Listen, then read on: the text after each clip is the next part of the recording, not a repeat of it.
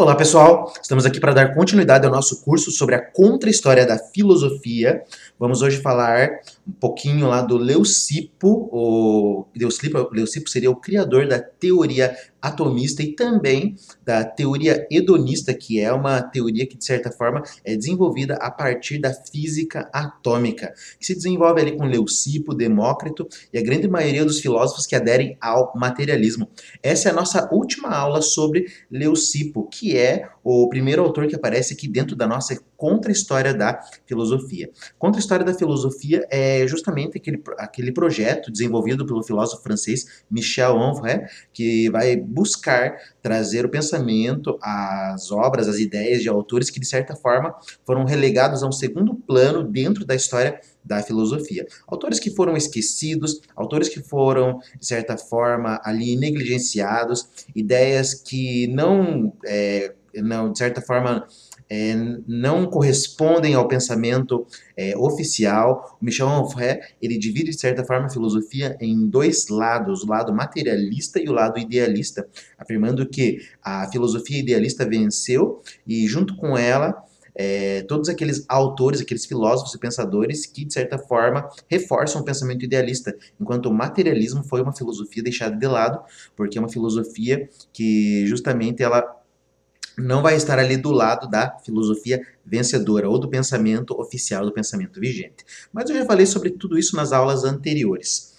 Então, hoje nós estamos na nossa 13 terceira aula, nós estamos aqui tratando da primeira aula, da primeira obra, perdão, da Contra-História da Filosofia, que se chama As Sabedorias Antigas, lembrando que há um total de 12 obras, 12 volumes aqui da Contra-História da Filosofia, e eu falaria um pouquinho de cada uma dessas obras, né, no total de 1.800 aulas, então vai ter bastante aula sobre a Contra-História da Filosofia. Então estamos no primeiro tempo, né? Lembrando mais uma vez que as sabedorias antigas se remetem à filosofia e ao pensamento antigo, e ela é dividida numa série de tempos. Esse primeiro tempo aqui vai tratar principalmente ali dos, das ideias do Leucipo e do Demócrito. Primeiro tempo, traços de átomos em um raio de luz, o materialismo abderitiano. Então eu já falei também nas aulas anteriores por que se chama, por que esse primeiro tempo se chama traços de raio, é, traços de átomos, perdão, em um raio de luz, justamente ali pela ideia de como teria surgido essa teoria atômica. Mas já falei um pouquinho sobre isso nas aulas anteriores, então a gente vai falar é, bastante nesse primeiro tempo sobre Leucipo e Demócrito. Hoje nós terminaremos nossas aulas sobre Leucipo, na próxima aula, no próximo encontro, falaremos um pouquinho de Demócrito. Aula 13, Ética da Alegria Autêntica. Então, o Michel Onfray, ele coroa o Leucipo como o primeiro filósofo que dessa contra-história da filosofia, porque justamente é Leucipo que vai, vai trazer, vai introduzir, de certa forma, dentro da filosofia, um pensamento de cunho materialista. E esse materialismo ele vai levar a um hedonismo, uma teoria do prazer, ou de certa forma, também uma teoria eudemonista, uma teoria do bem supremo, que poderia ser a felicidade ou a alegria, embora felicidade e alegria sejam coisas diferentes. Mas, de certa forma, hoje a gente vai tentar entender o que, que Leucipo traz, qual que é a contribuição dele para a história da filosofia e também para a história da contra-história da filosofia. Então a gente já trabalhou ali anteriormente dentro de Leucipo que ele acaba desenvolvendo uma física, que é justamente essa física atômica, ou seja, é um olhar sobre o real que justamente vai mostrar que esse mundo é composto de átomos. Mas além disso, essa física atômica, ela acaba induzindo uma ética. Ética seria, de certa forma, uma, uma, ciência, uma disciplina dentro da filosofia que vai estudar a ação e os valores humanos, os valores do homem. De certa forma, tratar da alegria é tratar justamente de um valor que interessa ao ser humano. Alegria, felicidade, prazer, etc. Então, a perspectiva de mundo de Leucipo, uma perspectiva atômica, induz a uma ética. E você pode se perguntar, mas o que, que tem a ver física com filosofia? O que, que tem a ver física com ética? É porque funciona da seguinte forma. Para esses filósofos, né, ou para os filósofos de, maioria, de, de maneira geral, Conhecer o mundo que nós vivemos é uma maneira de nós entendermos o seu funcionamento e assim, a partir disso, é, podermos levar uma vida ali baseada, digamos assim, nos valores. Se eu conheço o mundo, a realidade que nós vivemos, se eu conheço, por exemplo, a morte, a vida, a existência, a causa dessas coisas, se eu conheço o mundo, eu sei o que, que acontece, o que, que esse mundo faz, eu sei o que, que eu posso esperar desse mundo, é, eu posso justamente bolar uma maneira de viver dentro dele. Vamos parar para pensar. Pessoas que acreditam, por exemplo, ali numa astrologia, que acreditam numa previsão, digamos assim, dos acontecimentos humanos com base nos astros. Eles têm uma visão de mundo e essa visão de mundo permite que eles façam é, conjecturas, digamos assim, sobre a maneira que se deve levar a vida. Ah, então se a Lua está não sei o que para Saturno, para Plutão, se ah, o teu temperamento está em Marte, etc. Por aí vai, tá? Não querendo discutir se isso é verdadeiro ou falso, porque não é a intenção da nossa aula. Mas é, a maneira como eles percebem o mundo é justamente a maneira como eles vão induzir uma maneira de se comportar em relação ao mundo. Se o mundo mostra que Marte está em posição tal, para ele significa que você deve tomar cuidado com certas coisas e por aí vai, tá? Então é isso. De maneira geral, a maneira de ver o mundo é a maneira como vai mostrar como a gente vai é, se conduzir dentro desse mundo. E é por isso que essa física atômica, essa física atomística do Leucipo, vai justamente conduzir a uma ética. E é o que a gente percebe, pelo menos na grande maioria, ou se não em todos os filósofos de cunho materialista, que justamente vão defender uma ética, uma, uma teoria do comportamento humano, como chegar à felicidade, como alcançar a felicidade, o que é o prazer, etc., justamente com base na sua compreensão do mundo. Então a gente já falou também um pouquinho sobre a física do Leucipo nas aulas anteriores, não vou entrar em detalhes em relação a isso.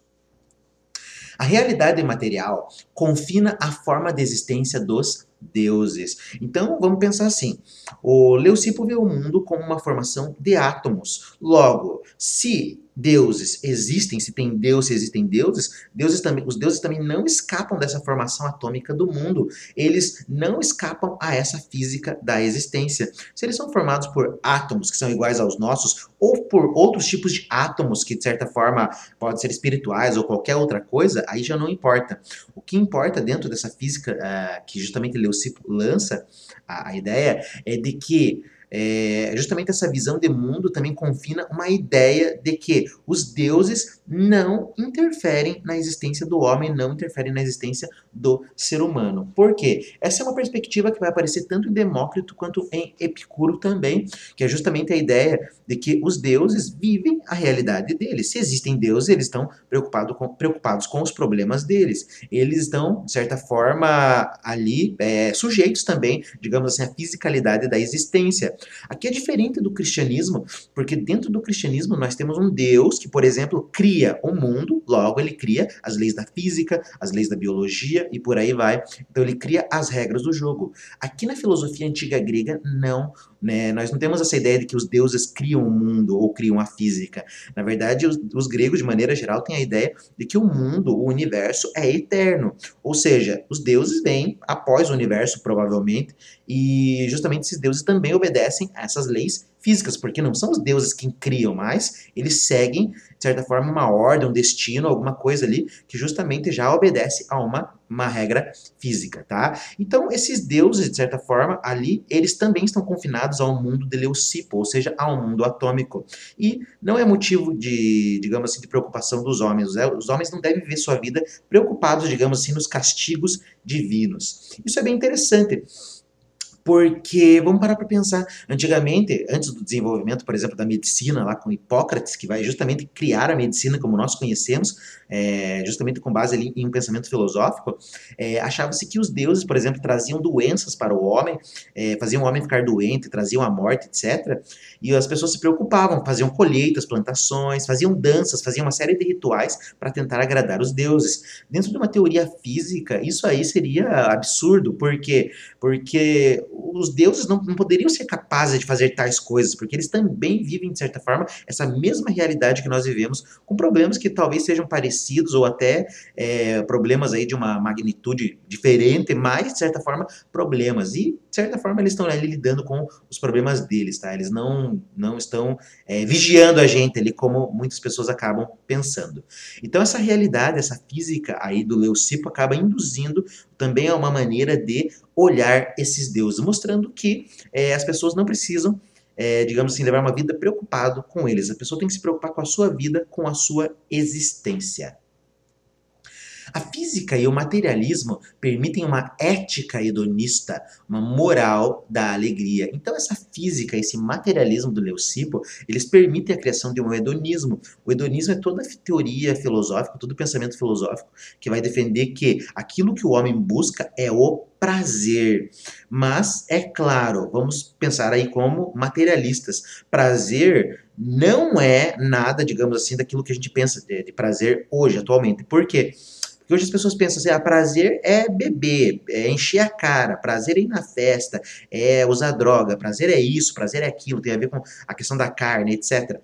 Mas é, os filósofos, de certa forma materialistas, eles vão defender que se é a matéria que compõe o homem, nós devemos cuidar para preservar essa matéria. Portanto, se você bebe, se você fuma, se você usa droga, se você come comida que não é saudável, você está danificando a matéria. E isso não é uma coisa que a teoria hedonista vai defender. Muito pelo contrário, o hedonismo ele defende a preservação da matéria. Ou seja, beber e encher a cara é prazer? Não, é ilusão de prazer, é diferente. Prazer é uma outra coisa. Prazer é preservação do corpo, com saúde, é, com alegria, com exercício e por aí vai, tá? Então, é, a gente vai ver também que essa ética hedonista, ou seja, uma ética voltada ao prazer, ela induz uma moral da alegria. A gente vai ver que, de certa forma, ali em grego, é, pelo menos ali segundo o dicionário que o Michel é, pesquisou, os termos é, edoné e caris, que seria, de certa forma, prazer e alegria em grego, são termos equivalentes. Ou seja, uma teoria hedonista é também uma teoria da alegria. Os fragmentos não permitem definir nitidamente entre hedonismo e eudemonismo. O que, que a filosofia busca? A filosofia ela defende uma teoria hedonista voltada para o prazer, ou seja, os valores do homem são valores voltados para o prazer, ou uma teoria eudemonista, visando que não é o prazer que é o guia da conduta humana, mas é o sumo bem, ou a felicidade. Então, entre eudemonismo, prazer, e eudemonismo, felicidade, hedonismo, prazer, e eudemonismo, felicidade, fica essa questão. Será que são termos iguais? São termos diferentes? Será que o eudemonismo é superior ao eudemonismo? Será que o eudemonismo é superior ao hedonismo? Devemos buscar o prazer ou a felicidade? São coisas iguais ou diferentes? É tudo isso que vai ser discutido dentro dessa contra-história da filosofia. Mas, de certa forma, Michel Onfray já coloca o posicionamento dele sobre essa questão.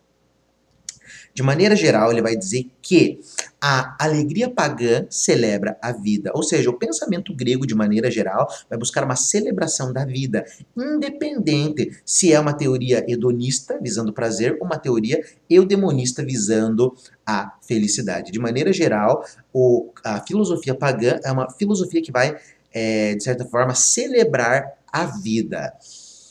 O prazer proporciona a felicidade e vice-versa. Então Michel vai procurar mostrar a ideia de que prazer e felicidade não são termos que de certa forma são dissociados. Ele vai falar que mais tarde o cristianismo vai procurar justamente dissociar esse termo, esses termos, mostrando que felicidade é uma coisa, prazer é outra. Quer ser feliz de verdade? Negue aos seus prazeres, negue aos seus instintos. De maneira geral, o cristianismo vai trazer essa ideia. Quer ser feliz de verdade? Então, não cometa lá aqueles sete pecados capitais. Uma ideia, né, para você ver. Então, você não pode ter gula, você não pode ter cobiça, avareza, etc. Ou seja, tudo aquilo que teoricamente é, seria remetido ao prazer, esses sete pecados capitais, na verdade, não seria nada mais que sete pecados do prazer. E se você quer, digamos assim, uma vida feliz, evite esses pecados, ou seja, evite os prazeres. Só que o cristianismo ele faz uma leitura é, que, segundo Michel Onfray, é errônea do prazer, porque ele vai colocar o prazer como se fosse uma coisa ruim, uma coisa maléfica que deve ser evitada.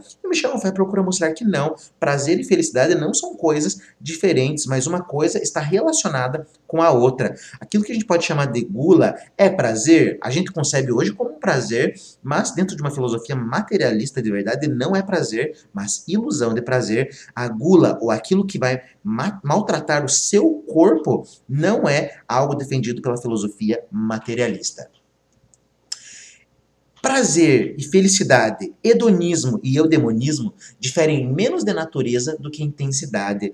Então, eles diferem menos de natureza porque, de certa forma, são termos ali próximos, mas eles diferem muito mais de intensidade, porque um prazer, quando é muito intenso, de certa forma, ele vai fazer com que a razão acabe, é, digamos assim, se anulando. Quando você está naquele momento de prazer, a razão, de certa forma, ela acaba sendo deixada de lado. Dentro da felicidade, não. Dentro da felicidade, a felicidade pode vir antes do prazer ou depois do prazer. Antes do prazer, porque você antecipa aquilo que vai acontecer, aquele prazer que vai acontecer. Ou depois do prazer também, quando você lembra, você olha para trás e lembra do prazer. Então a felicidade, ela tá antes e depois do prazer, mas a felicidade não é uma coisa que vai eliminar a tua razão, porque a felicidade é uma coisa que você vai estar tá pensando, você vai estar tá prevendo o prazer, você vai estar tá relembrando ele. Diferente da, do prazer, que quando é muito intenso, você acaba perdendo, de certa forma, a razão. É mais ou menos assim que é mostrado.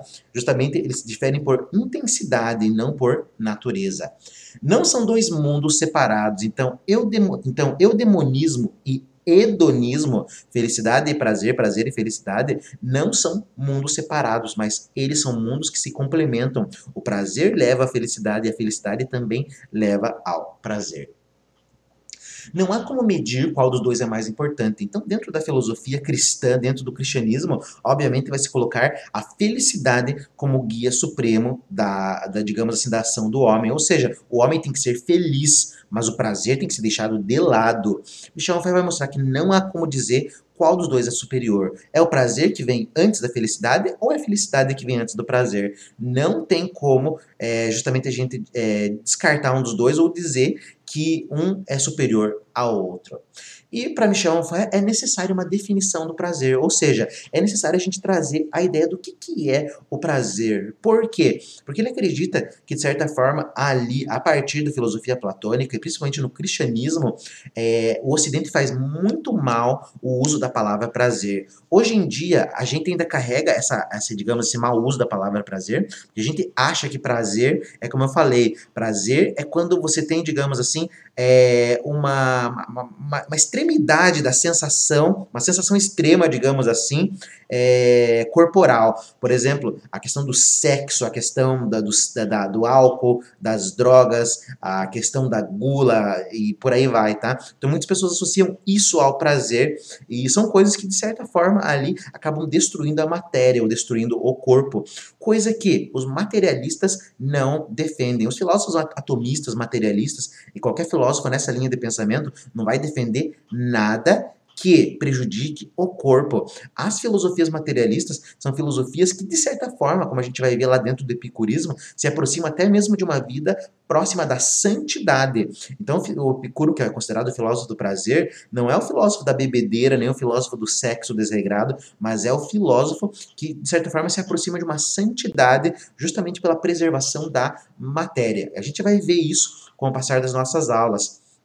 Mas, então é necessário a gente definir de novo esse conceito de prazer e mostrar que prazer não é essa coisa maléfica que, de certa forma, ali o pensamento cristão acabou propagando. O prazer é uma coisa que, de certa forma, ele visa a preservação da própria matéria e não o desgaste dessa. E é isso que a gente vai ver dentro dessa contra-história da filosofia. Não vamos ver nenhum filósofo que vai falar para você, você tem que usar droga, você tem que zoar, você tem que comer o que você quiser, que você vai morrer. Não, não tem nenhum filósofo que vai dizer isso. Eles, muito pelo contrário, vão dizer que você tem que levar uma vida regrada, uma vida preservando essa matéria, esse corpo, essa saúde e por aí vai, tá? Então é isso que a gente tem que fazer dentro dessa contra-história da filosofia. A ética grega, de maneira geral, ela é eudemonista, ou seja, ela visa uma teoria é, do sumo bem, ou uma teoria da felicidade. É isso que eles procuram, de certa forma, uma vida feliz, mas não uma vida dissociada do prazer, dependendo ali muito do autor que a gente vai trabalhar. Mas, de maneira geral, é, a grande maioria deles ali vai tentar justamente bolar uma filosofia, uma estratégia para o homem viver bem.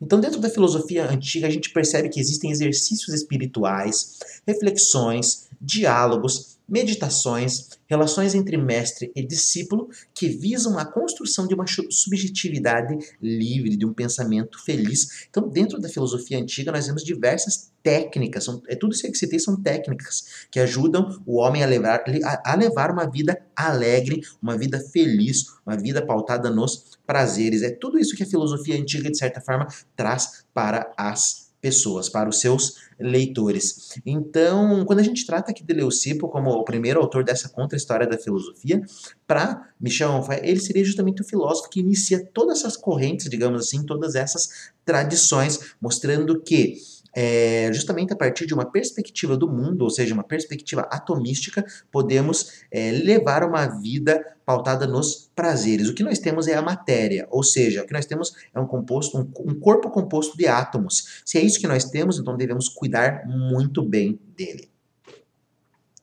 O eudemonismo possibilita um hedonismo, então uma, uma teoria que visa a felicidade também possibilita uma teoria que visa o prazer. Então são dois mundos ali que não estão separados, mas eles estão unidos. Prazer e felicidade se unem.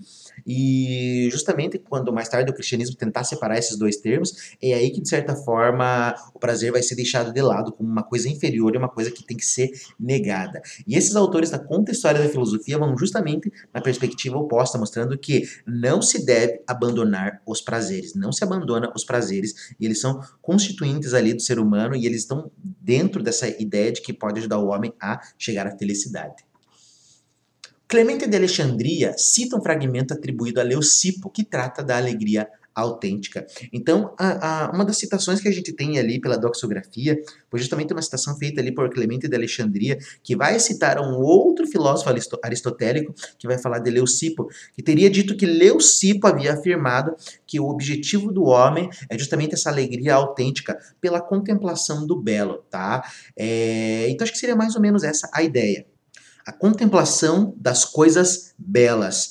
É, de certa forma, é muito difícil a gente dizer anterior, anteriormente a Platão o que, que é belo, o que, que ele quer dizer justamente com a contemplação do belo ou das coisas belas, mas de certa forma o Clemente de Alexandria faz uma leitura platônica, obviamente, sobre esse fragmento de Leucipo, mas a gente já pode parar para pensar o que, que é essa alegria autêntica que Leucipo, de certa forma, está é, tá falando, o que, que ele está querendo dizer com alegria autêntica.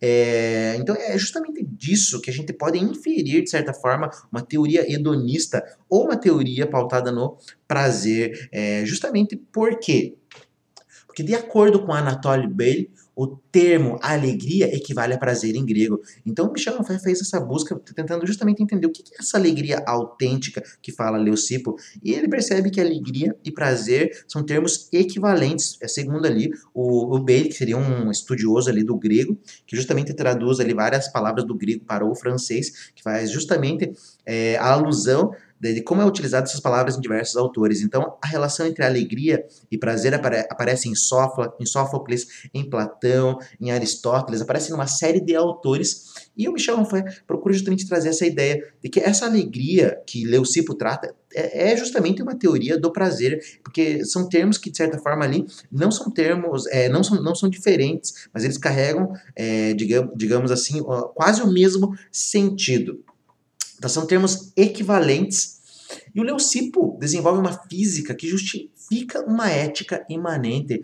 Então, justamente com base nesses pequenos, é, digamos assim, recortes, nesses pequenos relatos, a gente pode inferir uma ética imanente, ou seja, uma ética que está dentro desse mundo, que está dentro desse real, justamente porque o que nós temos aqui é matéria, e não uma ética transcendente, uma ética que visa, digamos assim, a divindade a Deus, porque até seria ilógico, digamos assim, pensar que Leucipo, um autor que defende uma teoria atômica, que defende um atomismo, é um autor que vai é, justamente afirmar que a felicidade é, deve ser encontrada fora desse mundo, desse, desse plano, dessa existência, ou que a felicidade está nos deuses ou em Deus, e não dentro dessa própria matéria, dessa própria carne, dessa, dessa própria conjuntura atômica que a gente vive, tá? Então é a partir disso que a gente pode trabalhar uma teoria hedonista dentro da perspectiva de Leucipo, tá? É muito difícil a gente falar assim, é realmente isso que Leucipo defendeu?